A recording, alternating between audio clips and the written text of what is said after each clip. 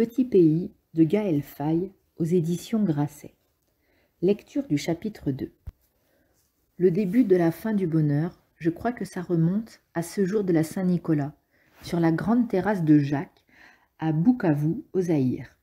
Une fois par mois, on lui rendait visite, au vieux Jacques. C'était devenu une habitude.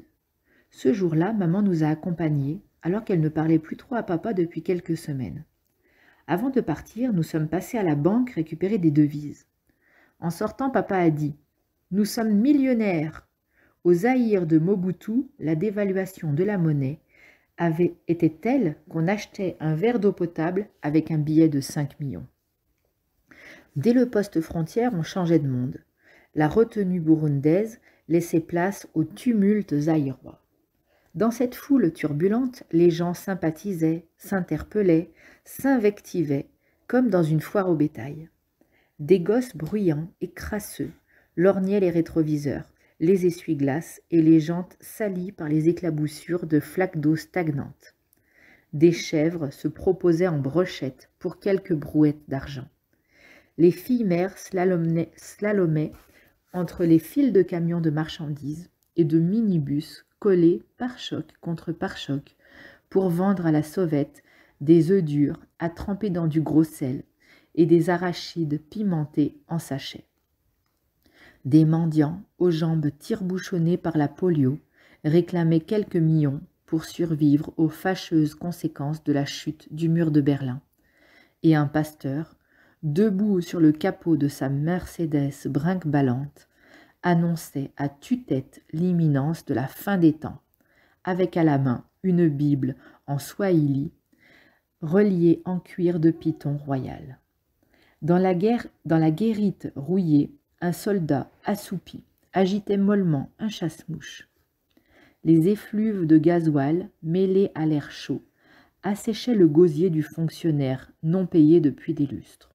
Sur les routes, d'immenses cratères, formés à l'endroit d'anciens nids de poules, malmenaient les voitures.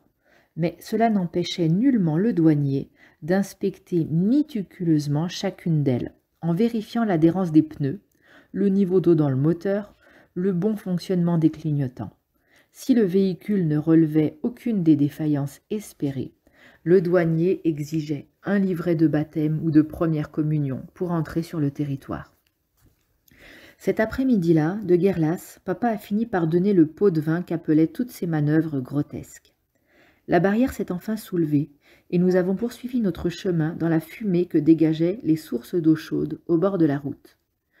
Entre la petite ville d'Uvira et de Bukavu, nous nous sommes arrêtés dans les gargotes pour acheter des beignets à la banane et des cornets de termites frits. Sur la devanture des bouis-bouis étaient accrochés toutes sortes d'écriteaux fantasques. Aux Fouquet's des Champs-Élysées. Snack bar Giscard d'Estaing. Restaurant Faites comme chez vous. Quand papa a sorti son Polaroid pour immortaliser ses enseignes, et célébrer l'inventivité locale, maman a chipé et lui a reproché de s'émerveiller d'un exotisme pour blanc. Après avoir manqué d'écraser une multitude de coqs, de canards et d'enfants, nous sommes arrivés à Bukavu, sorte de jardin d'Éden sur les rives du lac Kivu, vestige d'art déco d'une ville anciennement futuriste. Chez Jacques, la table était dressée, prête à nous accueillir. Il avait commandé des gambas fraîchement arrivées de Mobassa. Papa exultait. Ça ne vaut pas un bon plateau d'huîtres, mais ça fait du bien de manger des bonnes choses de temps en temps. De quoi te plains-tu, Michel? On te nourrit mal à la maison, a dit maman sans tendresse. Oui, ce con de Proté m'oblige à ingurgiter ces féculents d'Africains tous les midis. Si encore il savait faire cuire une entrecôte correctement. Ne m'en parle pas, Michel, a enchaîné Jacques. Mon macaque en cuisine, il fait griller tout, sous prétexte que ça tue les parasites. Je ne sais même plus ce que c'est un bon steak saignant. Vivement que je rentre à Bruxelles pour me faire une cure d'amibes. Éclat de rire général. Seuls Anna et moi restions silencieux en bout de table. J'avais dix ans, elle en avait sept. C'est peut-être pour cette raison que l'humour de Jacques nous échappait. De toute manière, nous avons interdiction formelle de parler, à moins que l'on s'adresse à nous. C'était une règle d'or quand nous étions invités quelque part. Papa ne supportait pas que les enfants se mêlent aux conversations des grandes personnes. surtout pas chez Jacques, qui était comme un second père pour lui, un modèle, au point qu'il reprenait, sans même s'en rendre compte, ses expressions, ses mimiques, jusqu'aux inflexions de sa voix. C'est lui qui m'a appris l'Afrique, répétait-il souvent à maman. Penché sous la table pour se protéger du vent, Jacques a allumé une cigarette avec son zippo en argent gravé de deux cerfs. Puis il s'est redressé. Quelques volutes se sont échappées de ses narines, et pendant un instant, il a observé le lac Kivu. De sa terrasse, on apercevait un chapelet d'îlots perdus au loin. Et au-delà, sur une autre rive du lac, se trouvait la ville de Siangougou au Rwanda. Maman avait l'œil accroché à cet au-delà. Des pensées lourdes devaient la traverser chaque fois que nous déjeunions chez Jacques. Le Rwanda, son pays, quitté en 1963 pendant une nuit de massacre, à la lueur des flammes qui embrasaient la maison familiale, ce pays où elle n'était jamais retournée depuis quatre ans, était là, à quelques enclabures, presque à portée de la main. Dans le jardin de Jacques, l'herbe était impeccablement tondue par un vieux jardinier qui agitait son coupe-coupe dans les grands mouvements de balancier, comme un swing de golf. Devant nous, des colibris, verts métallisés, s'affairaient à butiner le nectar des hibiscus rouges, offrant un remarquable balai. Un couple de grues couronnées déambulait à l'ombre des citronniers et des goyaviers. Le jardin de Jacques grouillait de vie, éclatait de couleurs, diffusait un doux parfum de citronnelle. Avec son mélange de boiseries rares, issues de la forêt de Nungawe et de roches noires et poreuses provenant du volcan Nyiragongo, sa maison ressemblait à un chalet suisse.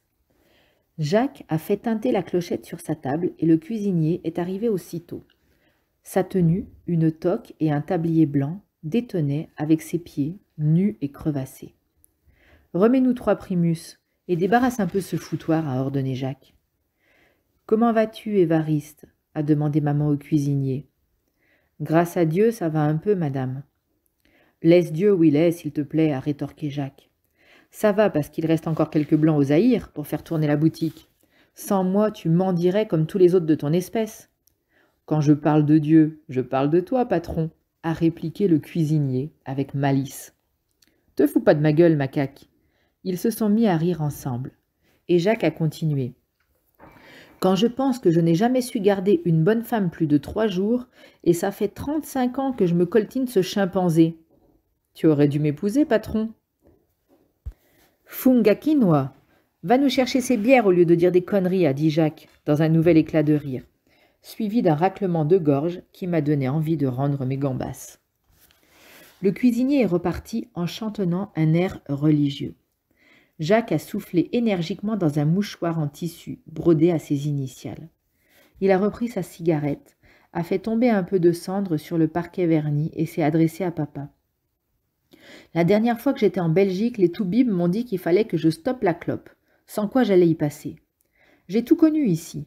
Les guerres, les pillages, les pénuries. Bob Denrad et Kolwetzi. Trente ans de conneries, de zaïrnisation, et c'est la cigarette qui va m'avoir Nom de Dieu Des taches de vieillesse parsemaient ses mains et son crâne dégarni. C'était la première fois que je le voyais en short. Ses jambes galbes, laiteuses, contrastaient avec la peau brûlée de ses avant-bras et son visage bruni par le soleil. On aurait dit que son corps était un assemblage de pièces hétéroclites. Ils ont peut-être raison, les docteurs. Tu devrais ralentir, a dit maman inquiète. Trois trois paquets par jour, c'est beaucoup pour toi, mon Jacques. Ah, tu vas pas t'y mettre toi aussi, a dit Jacques, tout en continuant à s'adresser à papa, comme si maman n'était pas là. Mon frère fumait comme un pompier, il a vécu jusqu'à 90 ans. Et je te parle pas de la vie qu'il a eue, c'était une autre paire de manches.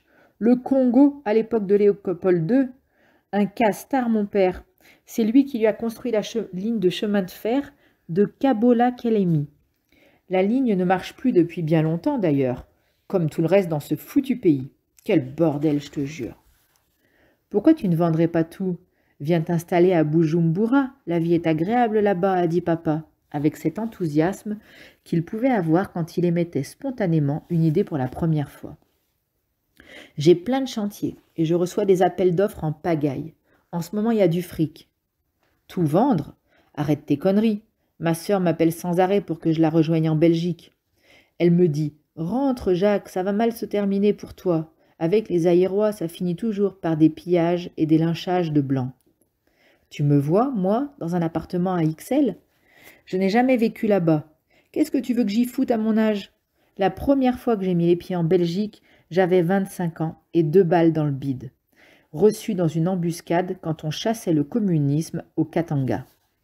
Je suis passé ici sur le billard, on m'a recousu, et je suis revenu ici illico presto. Je suis plus aérois que les nègres, moi.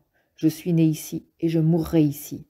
Bujumbura, ça me va, quelques semaines, je signe deux ou trois marchés, je serre la main à quelques grands boana, je fais le tour des popotes et des vieux copains, et je rentre ici. Vraiment, les Burundais, très peu pour moi. Les Aérois, au moins, c'est facile à comprendre. Un machik bakchiche et c'est reparti. Les Burundais, ces gens-là, ils se grattent l'oreille gauche avec la main droite. C'est ce que je répète sans cesse à Michel, a dit maman. Moi aussi, j'en peux plus de ce pays. Toi, c'est pas pareil, Yvonne, a rétorqué papa agacé. Tu rêves de vivre à Paris, c'est ton idée fixe. Oui, ce serait bien pour toi, pour moi, pour les enfants. C'est quoi notre avenir à Bujumbura? Tu peux me le dire? À part cette minable petite vie. Ne commence pas, Yvonne, hein C'est ton pays dont tu parles. Non, non, non, non, non, non, non, mon pays, c'est le Rwanda, là, en face de toi. Le Rwanda, je suis une réfugiée, Michel. C'est ce que j'ai toujours été aux yeux des Burundais. Ils me l'ont fait bien comprendre avec leurs insultes, leurs insinuations, leurs quotas pour les étrangers et leur numerus clausus à l'école. Alors laisse-moi penser ce que je veux du Burundi. Écoute, ma chérie, a dit papa d'un ton qui se voulait apaisant. Regarde autour de toi, ces montagnes, ces lacs, cette nature. On vit dans de belles maisons, on a des domestiques, de l'espace pour nos enfants, un bon climat, et les affaires marchent pas trop mal pour nous. Qu'est-ce que tu veux d'autre? Tu n'auras jamais tout ce luxe en Europe, crois-moi. C'est loin d'être le paradis que tu imagines. Pourquoi penses-tu que je construis ma vie ici depuis vingt ans? Pourquoi penses-tu que Jacques préfère rester dans cette région plutôt que rentrer en Belgique? Ici, nous sommes des privilégiés. Là-bas, nous ne serons personne. Pourquoi tu refuses de l'entendre? Tu causes, tu causes, mais moi je connais l'envers du décor ici. Quand toi tu vois la douceur des collines, je sais la misère de ceux qui la peuplent. Quand tu t'émerveilles de la beauté des lacs, je respire déjà le méthane qui dort sous les eaux. Tu as fui la quiétude de ta France pour trouver l'aventure en Afrique. Grand bien te fasse. Moi je cherche la sécurité, que je n'ai jamais eue, le confort d'élever mes enfants dans un pays où l'on ne craint pas de mourir parce qu'on est. Arrête Yvonne avec tes inquiétudes et ton délire de persécution. Tu dramatises toujours. Tu as le passeport français maintenant, tu n'as rien à craindre. Tu vis dans une ville à Bujumbura, pas dans un camp de réfugiés. Alors évite tes grands discours, s'il te plaît. Je me fiche bien de ton passeport, il ne change rien à l'affaire. Cette menace qui rôde partout. L'histoire dont je parle ne t'intéresse pas, Michel. Elle ne t'a jamais intéressé. Tu es venu ici chercher un terrain de jeu pour prolonger tes rêves d'enfant gâté d'Occident. Qu'est-ce que tu racontes? Tu me saoules, franchement. Beaucoup d'Africaines rêveraient d'être à ta place. Maman a fixé papa si durement qu'il n'a pas osé achever sa phrase. Puis très calme, elle a poursuivi. Tu ne te rends même plus compte de ce que tu dis, mon pauvre Michel. Un conseil. Ne t'essaye pas au racisme. Toi, l'ancien hippie babacool, ça te va pas du tout. Laisse ça à Jacques et aux autres vrais colons. Jacques s'est étouffé d'un coup avec sa fumée de cigarette. Maman s'en foutait. Elle s'est levée elle avait jeté sa serviette au visage de papa, et elle était partie. Le cuisinier est arrivé au même instant, un sourire insolent aux lèvres, les primus sur un plateau en plastique. Yvonne, reviens immédiatement. Excuse-toi tout de suite auprès de Jacques, a crié mon père, les fesses légèrement décollées de la chaise et les deux poings sur la table. Laisse tomber, Michel, a dit Jacques. Ah, les bonnes femmes. Fin de la lecture du chapitre 2. Alors on va résumer le chapitre 2 de Petit pays de Gaël Faye. Qu'est-ce qui s'est passé dans ce chapitre? Euh, Ils sont allés chez Jacques. Oui. Et euh, Michel, il trouve que c'est son, presque son demi-père. Et euh, la femme de Michel, elle voulait rentrer à dans un autre pays. Mais Michel, il avait dit qu'il y a beaucoup d'Africains qui voudraient euh, être à sa place. Mais, et après, euh, la femme de Michel, elle a, elle a dit plein de trucs dangereux comme euh, toi tu aimes la les, les collines, mais ceux qui habitent dans les collines, ils ont la misère. Toi, tu aimes les lacs, mais en dessous des eaux, il y a des... Du méthane, c'est un gaz. Tout à fait. Alors là, on voit les, les différences entre les parents. Donc déjà, euh, ils vivent au Burundi et pendant des années, euh, c'est des pays qui ont été colonisés. Est-ce que tu sais ce que ça veut dire? Ils ont été pris par les autres pays. Voilà, il y avait des gens d'autres pays qui avaient pris le pouvoir dans ces pays. Mais maintenant, ils sont partis, ceux qui avaient colonisé le pays. Par contre, euh, il reste encore certaines personnes, par exemple Jacques, qui ont vécu à cette époque-là, mais qui ont choisi de rester. Alors, est-ce que tu trouves que Jacques, il est poli et qu'il parle correctement, par exemple, à ses employés ou aux autres gens qui sont du pays? Non. Voilà. Et pourquoi, à ton avis? Parce que lui, il est blanc. Ouais, et c'est surtout parce qu'il est d'une autre génération. On voit un petit peu la mentalité qu'avaient certains, sûrement une grande partie, mais enfin, je ne sais pas quelle, quelle proportion, les colons à l'époque ils n'étaient pas très respectueux des gens qui vivaient sur place.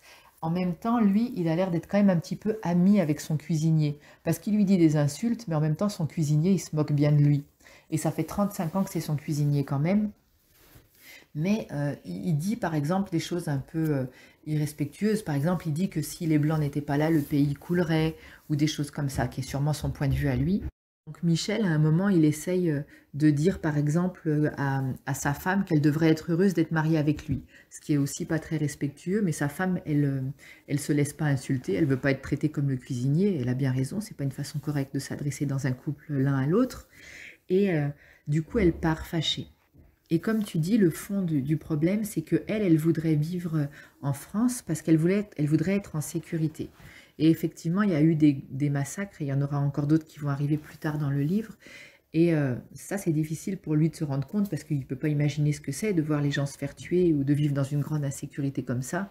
Et pour lui, euh, de vivre euh, au Burundi, c'est important parce qu'il pense qu'il a une qualité de vie qu'il n'aurait pas s'il allait vivre à Paris. Mais elle, son point de vue, c'est qu'il faudrait qu'elle puisse vivre en sécurité pour elle et ses enfants. Donc ils ne sont pas d'accord sur le fond parce qu'elle voudrait vivre en Europe et lui veut rester vivre au Burundi. Ok, on arrête On passe au chapitre suivant? Ok. T'as des questions sur ce chapitre? Non. Ok, allez, on se